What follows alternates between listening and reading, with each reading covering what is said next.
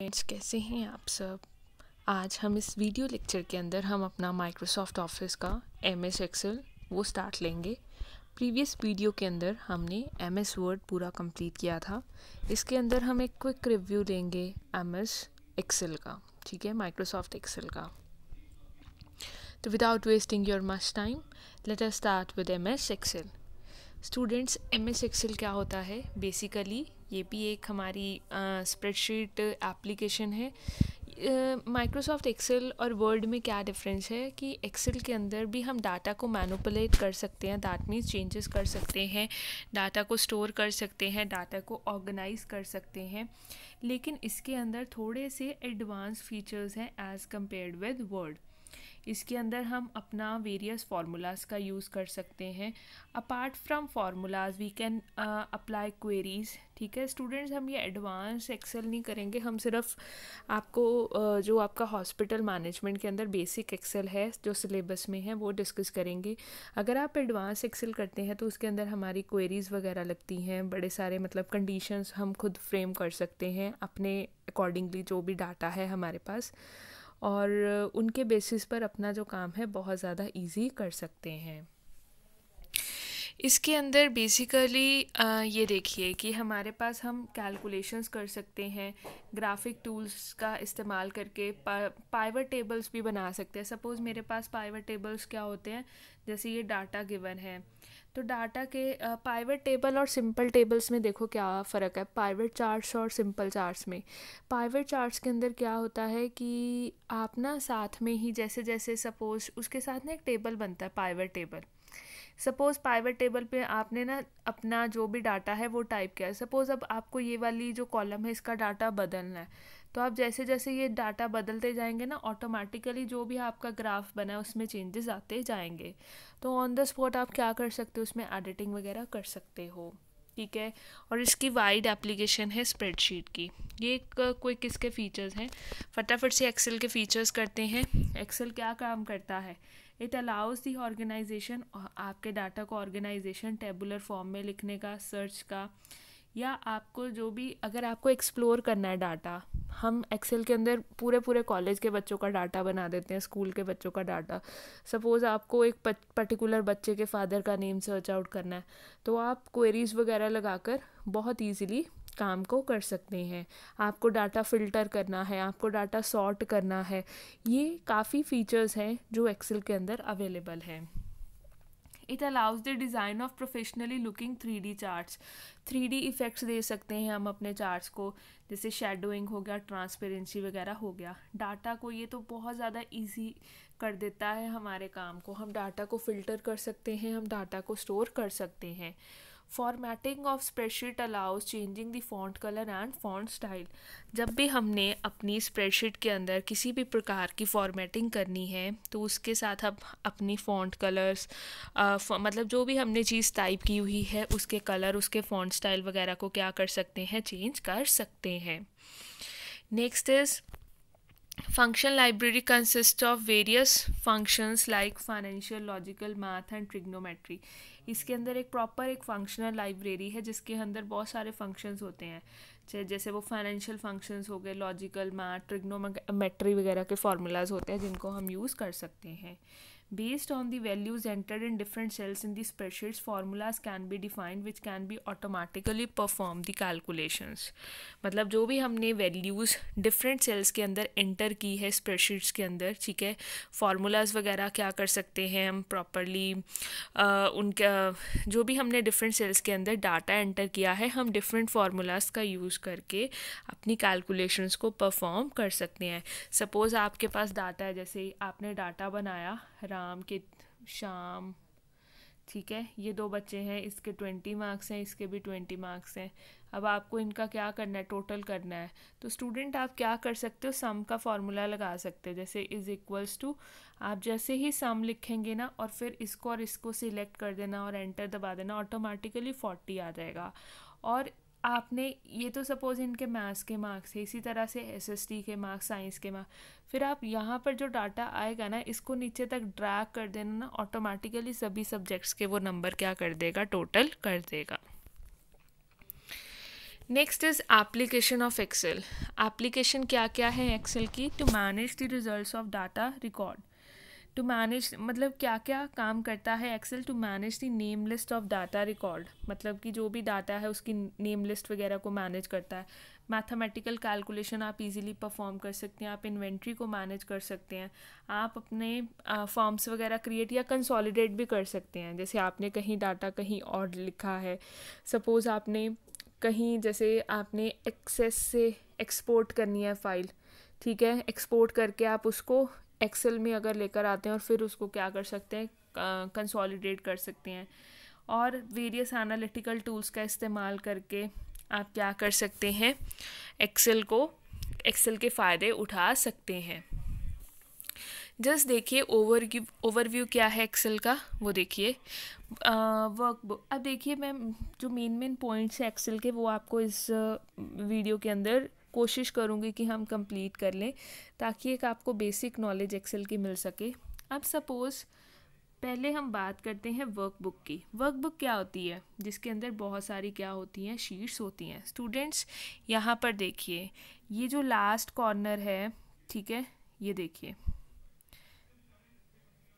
ये जो last corner है, जिसके ऊपर ये टेबल सा भी आ रहा है, इसके आगे देखिए तो लिखा होगा sheet one sheet two sheet three जो इनका कॉम्बिनेशन होता है तो ये क्या कहलाती है? वर्कबुक वर्कबुक का क्या मतलब है कि कितनी नंबर ऑफ़ वर्कशीट्स हैं?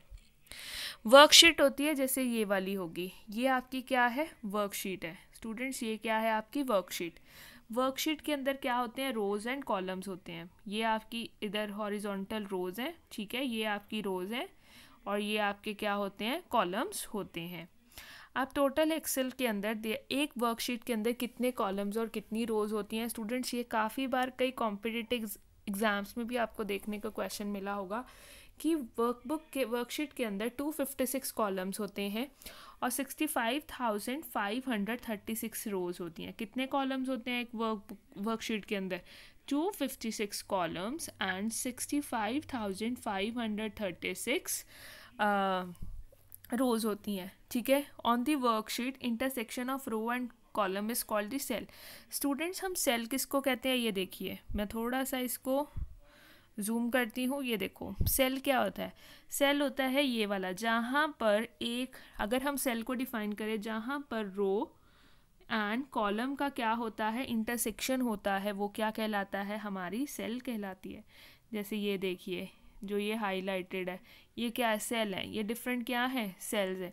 क्योंकि यहाँ पर देखो ये रो है और ये कॉलम है। इनका इंटरसेक्शन मिलके क्या बनाता है आपका? सेल बनाता है। क्लियर हो गया? अब देखिए next is next is each cell has a specific address हर जो सेल है, उसका क्या है? एक स्पेसिफिक एड्रेस होता है which is combination of numbers and letters आप देखिए, हर सेल का क्या होता है? एक अपना यूनिक एड्रेस होता है। बच्चे, जो एड्रेस बनता है ना किसी भी सेल का, वो कैसे बनेगा? सपोज़ जैसे ये वाला है, जहाँ पर ये रेड वाला मार्क किया हुआ है, इसका सेल का एड्रेस होगा ए वन ए वन का क्या मतलब है? कि ए कॉलम है और फ़र्स्ट रो है। पहले कॉलम फिर रो क्लियर हो गया? है, इस तरह से वो क्या करते हैं? एड्रेस बनाते हैं। ठीक है? जैसे अब ये दूसरे वाले का आप खुद एक बार फटाफट से माइंड में सोचिए इसका एड्रेस क्या बनेगा। ये कौन से कॉलम में लाई कर रहा है? ऊपर देखिए कॉलम कौन सा ई e और रो कौन सी है इसकी? टेन तो ई e टेन क्या होगा? इसका एड्रेस होगा। सभी सेल्स का क्या होता है? एक अपना यूनिक एड्रेस होता है। तो फटाफट से ये वाला पेज रिकॉल करो, क्योंकि इसमें से आपके आगे क्वेश्चंस फ्रेम हो सकते हैं एग्ज़ाम के अंदर। तो वर्कबुक क्या है? वर्कबुक क्या होती है? It is the collection of many worksheets और वर्कशीट के अंदर क्या होते हैं? बहुत सारे रोज़ एंड कॉलम्स होते हैं। एक एक्सेल के अंदर, एक वर्कशीट के अंदर कितने कॉलम्स होते हैं? टू फिफ्टी सिक्स कॉलम्स होते हैं। और sixty five thousand five hundred thirty six rows होती हैं। और जहाँ पर रो एंड कॉलम क्या होता है इंटरसेक्ट करता है, उसे हम क्या बोलते हैं? सेल बोलते हैं। और हर सेल का क्या होता है? एक अपना एड्रेस होता है। क्लियर आप देखिए, थोड़ा सा मैं आपको ओवरव्यू देती हूँ किसका? एक वर्कशीट का। तो ये देखिए। जो वर्कशीट है, ठीक है on the worksheet rectangular box representally represents currently selected और एक्टिव सेल देखिए, जो सबसे पहले जो नेम बॉक्स होगा नेम बॉक्स जो होता है ये वाला, ये जो येलो कलर का हाईलाइटेड है, ये आपको क्या इंडिकेट करेगा कि आपका कौन सा सेल क्या है एक्टिव है। स्टूडेंट्स जो ये वाली वाइट वाली लाइन होती है ना, इसको हम क्या बोलते हैं? फॉर्मूला बार बोलते हैं। ये हमें इंडिकेट करता है सपोज़ मैंने ना इस वाले कॉलम में सम का, इस वाले सेल में सम का फॉर्मूला लगाया। जैसे मैंने लिखा सिग्मा सॉरी हमेशा एक्सेल के अंदर ध्यान देना कि जो फार्मूला है वो इज़ इक्वल्स टू से स्टार्ट होते हैं। जैसे ही जैसे मैं फार्मूला कोई टाइप करूँगी तो वो फार्मूला बार में ऑटोमेटिकली आता जाएगा। ठीक है? उसके अलावा ये देखिए क्या है? ये होती है हमारी टाइटल बार ठीक है? ये हमारा ऑफ़िस बटन का टूल होता है ये आपको मालूम ही है। ये होते हैं क्विक असेस टूल बार मतलब जल्दी से हम कोई भी अपना क्विक असेस टूल बार भी कोई हमारी ऐसी कमांड है जो हम बार बार यूज़ करते हैं तो हम उसको क्विक एक्सेस जो टूल बार होता है वहाँ पर इंस्टॉल कर सकते हैं। फिर ये हमारा क्या होता है? ये फार्मूला बार हो गया ये नेम बॉक्स हो गया ये हमारा क्या होता है? मेन्यू बार होता है जिसके अंदर ये होम टैब हो गया पेज लेआउट ये सारे क्या है? वो आ, हमारा फार्मूला वो सॉरी मेन्यू बार होता है। ये हमारी क्या होती है? वर्टिकल स्क्रॉलिंग होती है और नीचे वाली कौन सी होती है? हमारी हॉरिजॉन्टल स्क्रॉलिंग होती है। ये हमारा स्टेटस बार होता है, जिसके अंदर पूरा स्टेटस आता है। डेट टाइम वगैरह आ गया, कौन सी रो में आप काम कर रहे हो, वो सारा कुछ इसके अंदर आ जाता है। क्लियर हो गया? Next is view of menu bar menu bar के अंदर क्या क्या चीज़ें आएँगी? ये देखिए। मेन्यू बार के अंदर आएगी हमारी home tab insert page layout formulas data review and view ये सब बटन्स आपको मिलेंगे, ठीक है? तो आप ज़रूर एक बार अपनी स्क्रीन ऑन करके चेकआउट कीजिए कि मेन्यू बार में आपको कौन कौन सी आइटम्स शो हो रही हैं। Next is insert menu suppose uh, जो हमारा ऊपर जैसे अभी मैंने आपको बत, बात की थी मेन्यू बार में होम में तो स्टूडेंट्स वही जैसे हमने वर्ड के अंदर भी किया था। होम uh, टैब के अंदर हमारे पास जब uh, क्या क्या चीज़ें आ जाती हैं वही सारे आ जाते हैं। अलाइनमेंट्स कौन कौन से आपको चाहिए। उसके बाद वही वाला बटन जिसमें इटैलिक हो गया बोल्ड हो गया अंडरलाइन वाला हो गया। या अगर आपने कोई भी फॉन्ट कलर वगैरह चेंज करना है ठीक है? ये सब चीज़ें उस आ, आपकी किसमें शो हो जाती हैं या आपको अपना जो टेक्स्ट है वो कैसा रखना है? इस तरह से होना चाहिए या आपने देखा ऐसे डाउन में हो गया या मिड में हो गया इस तरह से या लेफ़्ट आपको चाहिए अलाइनमेंट आपको मिडल वाला सेंट्रल अलाइनमेंट चाहिए जस्टिफाइड चाहिए ये सब कुछ किसके अंदर आता है? होम टैब के अंदर आता है। Next is insert menu insert menu में जब आप करेंगे क्लिक तो इंजर्ट मेन्यू में आ सकता है कि अगर आपको कोई फर्दर रो कॉलम वर्कशीट या चार्ट वगैरह, ये जो भी चीज़ आपको इंजर्ट करनी है, वो सब कुछ किसके अंदर आएगा? होम मेन्यू के अंदर आएगा। तो ये सारी चीज़ें हैं जो होम मेन्यू के अंदर आएँगी, ठीक है? और ये सब चीज़ें स्टूडेंट्स आपको ज़्यादा क्लियर तभी होंगी जब हम क्या करेंगे? प्रैक्टिकली इनको अप्लाई करके देखेंगे, ठीक है? Next is view menu view means आपने कुछ अगर देखना है, ठीक है? The view menu allows you different option of viewing your work view menu क्या करता है? हमें डिफरेंट जो ऑप्शन हैं अपने काम को करने के, वो बताता है। आप इसमें फुल स्क्रीन व्यू कर सकते हैं, ठीक है? So that change you can enable a full screen view that changes the view to include just the worksheet and a menu bar. मतलब आप अपनी स्क्रीन का फुल व्यू चेक कर सकते हैं, जिसके अंदर सिर्फ़ या वर्कशीट आएगी और मेन्यू बार आएगा। इसके अलावा कोई भी चीज़ नहीं दिखेगी। आप इसी ऑप्शन का मतलब इसी व्यू मेन्यू का इस्तेमाल करके अपनी स्क्रीन को जूम वगैरह भी कर सकते हैं। ये देखिए जूम का ऑप्शन भी इसके अंदर आता है। ठीक है? और व्यू के अंदर हम हेडर्स एंड फुटर्स को भी क्या कर सकते हैं? अपने काम में इन्वॉल्व कर सकते हैं। उसके अलावा अगर मेरे को एक पर्टिकुलर सेल के अंदर, जैसे ना कई बार कमेंट देना है तो मैं कमेंट भी दे सकती हूँ, जो ये रेड कलर का है ना, यहाँ पर शो हो रहा है, ये कमेंट क्या है। मे भी मैंने कुछ इसके अंदर लिख के रखना है कि हाँ ये पर्टिकुलर सेल के अंदर ये चीज़ है, ये जो ट्वेंटी फोर है, ये किस चीज़ से ट्वेंटी फोर आया। मीन्स मैं कुछ भी अपने अकॉर्डिंगली स्पेसिफाइड सेल को कमेंट भी दे सकती हूँ।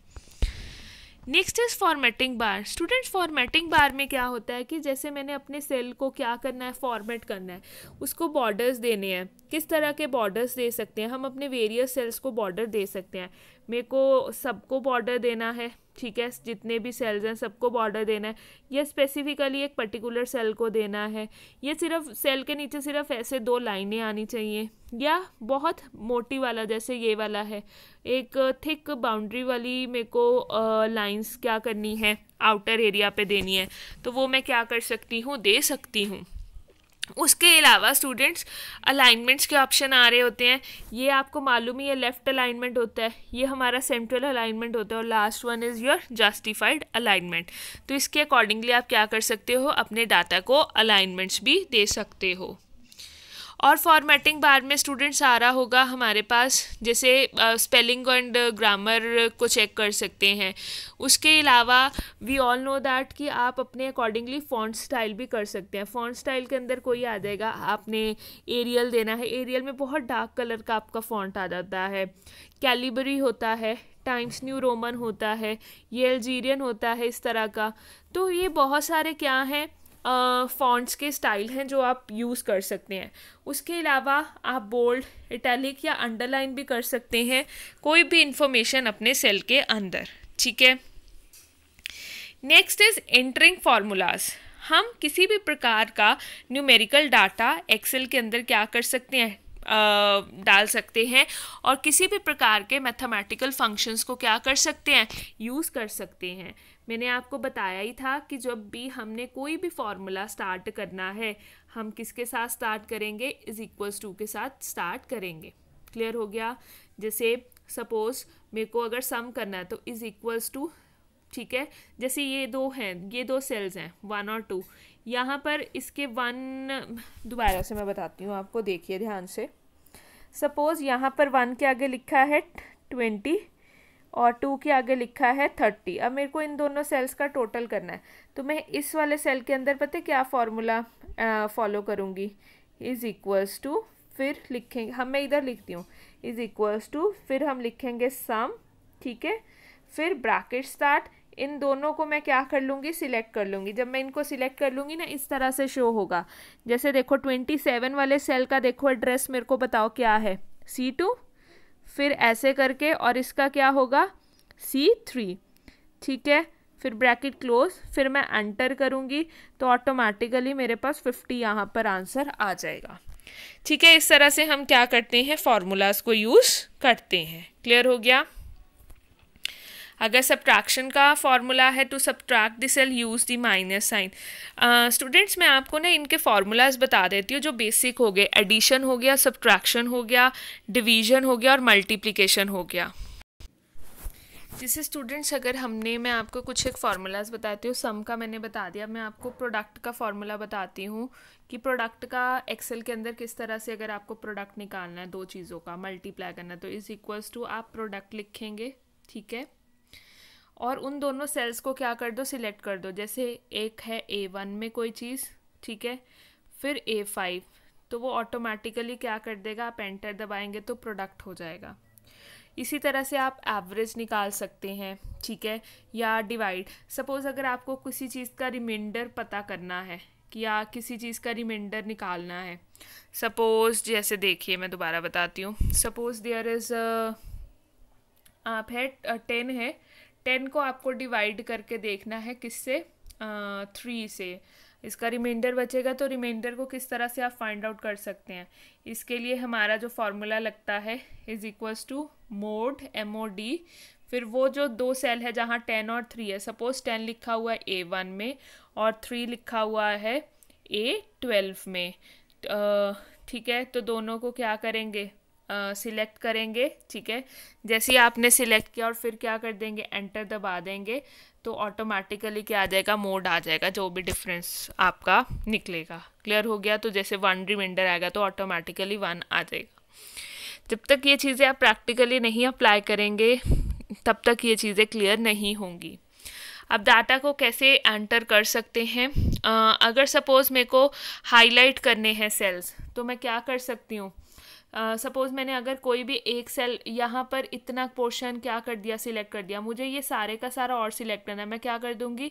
कर्सर को लेकर नीचे तक ड्रैग कर दूँगी तो मैं डिज़ायर्ड एरिया को क्या कर पाऊँगी? सी हाईलाइट कर पाऊँगी। To move the highlight area click on the border of the box and drag the and drag the box to the desired location और अगर मेरे को ये हाईलाइटेड जो एरिया है इसको क्या करना है? मूव करना है तो जो इसका जो ये ब्लैक वाला बॉर्डर है ना ठीक है? इसको आप क्या करेंगे? क्लिक करेंगे और इसको जहाँ पर भी आपको डिज़ायर्ड लोकेशन पर लेकर जाना है, वहाँ तक ड्रैग करके आप ले जाएँगे। और आप डाटा को सॉर्ट भी कर सकते हैं। स्टूडेंट्स ऊपर ना हमेशा देखना मेन्यू बार के अंदर ही मतलब होम टैब के अंदर ही एक सॉर्ट एंड फ़िल्टर का ना ऑप्शन आता है। ध्यान से कभी देखना सॉर्ट एंड फ़िल्टर का। सॉर्ट एंड फ़िल्टर का क्या मतलब है? सॉर्ट का मतलब है कि आपको डाटा इंक्रीजिंग ऑर्डर में रखना है या डिक्रीजिंग में। आप सारे का सारा डाटा क्या कीजिए? सिलेक्ट कीजिए, ऊपर सॉर्ट में जाइए। सॉर्ट में सपोज़ आपको इंक्रीजिंग ऑर्डर में रखना है। दैट मीन्स पहले सबसे छोटा, फिर उससे बड़ा, फिर उससे बड़ा, फिर उससे बड़ा। तो उसको सिलेक्ट कीजिए तो फिर वो मांगेगा एक्सपेंशन के लिए बोलेगा। तो जब आप एक्सपेंशन को क्लिक करेंगे तो ऑटोमेटिकली आपका डाटा क्या हो जाएगा? सॉर्ट हो जाएगा। उसी तरह से आप फिल्टर्स का यूज़ भी कर सकते हैं। सपोज़ आपके पास बहुत सारा डाटा है। आपके पास मैथ्स के नंबर हैं, आपके पास साइंस के नंबर्स हैं, आपके पास एसएसटी के नंबर हैं। आपको इतना सारा डाटा अभी नहीं चाहिए। आपको सिर्फ़ मैथ्स के नंबर्स के ऊपर काम करना है। तो आप फ़िल्टर में जाके फ़िल्टर में कह सकते हैं, वहाँ पर ऑप्शन आएगा कि कौन कौन से डाटा जो आपकी वर्कशीट है, उसके अंदर कौन कौन सा डाटा है। तो जोन सा आपको चाहिए होगा मैथ्स वाला, उसको सिलेक्ट कर दीजिए और जो बाकी का होगा, जो साइंस के नंबर हो गए इंग्लिश के नंबर हो गए, इनको क्या कर दीजिए अनसिलेक्ट कर दीजिए। ऑटोमेटिकली वहाँ पर फ़िल्टर लग जाएँगे। फ़िल्टर का ना इस तरह से, जैसे सीव नहीं होती, इस तरह का निशान सा बना हुआ आता है आपके डाटा के ऊपर। क्लियर हो गया? अब हम डाटा में सब एक्सेल में भी फाइंड एंड रिप्लेस कर सकते हैं। अगर मेरे को कोई भी वर्ड फाइंड करना है तो आपको पता ही है, जैसे वर्ड में कंट्रोल प्लस एफ़ लगता है, इसमें भी वैसा ही लगेगा। और मैं आपको चीज़ें बता दूँ, इसके अंदर भी कंट्रोल प्लस सी कॉपी के लिए यूज़ होता है। कंट्रोल प्लस एक्स किसके लिए यूज़ होता है? स्टूडेंट जल्दी से बताओ कट के लिए, अगर कोई भी सेल कट करके कहीं पेस्ट करना है। और कंट्रोल प्लस वी किसके लिए यूज़ होता है? पेस्ट के लिए। कंट्रोल प्लस सी कॉपी के लिए कंट्रोल प्लस एक्स किसके लिए होता है? कट के लिए और कंट्रोल प्लस वी पेस्ट के लिए। अब हम डाट्स डा अपने चार्ट्स वगैरह भी क्रिएट कर सकते हैं। इसके अंदर भी इंजर्ट में जाकर आप क्या कर सकते हैं? चार्ट्स अपने चूज़ कर सकते हैं। सपोज़ आपको अगर line chart column chart pie chart इस तरह के बहुत सारे चार्ट्स हैं। आप अपनी नीड के अकॉर्डिंगली चार्ट टाइप को क्या कर सकते हैं? सिलेक्ट कर सकते हैं और अपने डाटा को बहुत अच्छे से रिप्रेजेंट कर सकते हैं। ठीक है? चार्ट को कैसे क्रिएट करना है? चार्ट वाला ऑप्शन आएगा। ठीक है? जैसे स्टेप वन इज़ आप अपनी कोई भी चार्ट आपने आ, क्या कर लिया? सबसे पहले तो आ, आ, कोई भी जो भी चार्ट आपको चाहिए चाहे आपने कॉलम बनाना है चाहे बार बनाना है चाहे लाइन बनाना है highlight the data that you wish to be included और अपनी जो वर्कशीट है ना उसके ऊपर सपोज़ आपको चार्ट के अंदर आपके पास मार्क्स थे स्टूडेंट्स के एसएसटी के साइंस के उसके अलावा मैथ्स के, इंग्लिश के। आप वो सारे मार्क्स को क्या कर लोगे? हाईलाइट कर दोगे जिसको आपने क्या करना है? चार्ट की फॉर्म में शो करना है, ठीक है? क्रिएटिंग थर्ड जो स्टेप होगा third step will be change chart option here you can change the name of the chart इसके अंदर क्या कर सकते हो? स्टूडेंट्स आप चार्ट को अपना नाम ठीक है, उसकी एक्सिस में के ऊपर क्या आना चाहिए? जैसे वाई एक्सिस के ऊपर मार्क्स आने चाहिए एक्स एक्सिस के ऊपर सब्जेक्ट का नेम आना चाहिए। तो उसके अकॉर्डिंगली आप क्या कर सकते हैं? चेंजेस कर सकते हैं। और अपनी चार्ट की लोकेशन को भी चूज़ कर सकते हैं कि कहाँ वो चार्ट आपका क्या हो? चार्ट वहाँ पर पेस्ट हो, ठीक है? जैसे ये सब आ गया। यहाँ पर आप ले सकते हैं, अगर हम अपने एग्ज़ाम्पल के अकॉर्डिंगली चेक करें तो यहाँ पर आप ले सकते हैं सब्जेक्ट्स के नेम और यहाँ पर क्या ले सकते हैं वाई एक्सिस पे सब्जेक्ट्स के मार्क्स क्लियर हो गया? इस तरह से जो आपका चार्ट है, वो क्या हो जाएगा? बन जाएगा और वर्कशीट पे शो हो जाएगा। ये पाई चार्ट आप पाई चार्ट भी बना सकते हैं। ये लाइन चार्ट आप लाइन चार्ट भी बना सकते हैं। और स्टूडेंट्स लास्ट जो है, वो हम करेंगे प्रिंटिंग का। प्रिंटिंग का स्टूडेंट्स वही है सेम तरीका, ठीक है? प्रिंटिंग के अंदर आप क्या करेंगे, वही control plus P key command देकर अपनी प्रिंट करवा लेंगे। बट अगर आपको प्रिंट प्रीव्यू देखना है तो प्रिंट प्रीव्यू के लिए मैंने उस दिन भी आपको बताया था कि आप प्रिंट प्रीव्यू भी क्या कर सकते हैं चेक कर सकते हैं। प्रिंट प्रीव्यू से आपको पता लग जाएगा कि आपका प्रिंट होने से पहले किस तरह का व्यू है, ठीक है? क्योंकि जब आप प्रिंट करेंगे तो कई बार हमारे सेल्स जो कॉलम्स होते हैं, वो बाहर आ रहे होते हैं। तो हमें प्रिंट प्रीव्यू से पता लग जाएगा कि कोई चीज़ बाहर तो नहीं जा रही हमारी शीट से। उसके अकॉर्डिंगली हम डाटा को क्या कर लेंगे एडजस्ट कर लेंगे। क्लियर हो गया। तो स्टूडेंट्स ये था आपका एक जस्ट ओवरव्यू था जो एक्सेल है। स्टूडेंट्स बहुत ज़्यादा डीप है।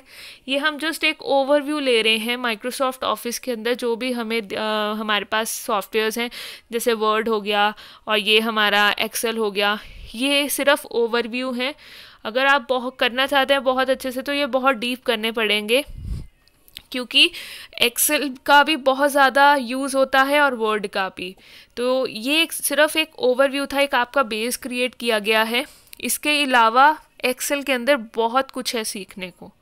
क्लियर तो स्टूडेंट्स आज के लिए बस इतना ही। मिलते हैं अपनी नेक्स्ट वीडियो के साथ। Till then happy learning and keep revising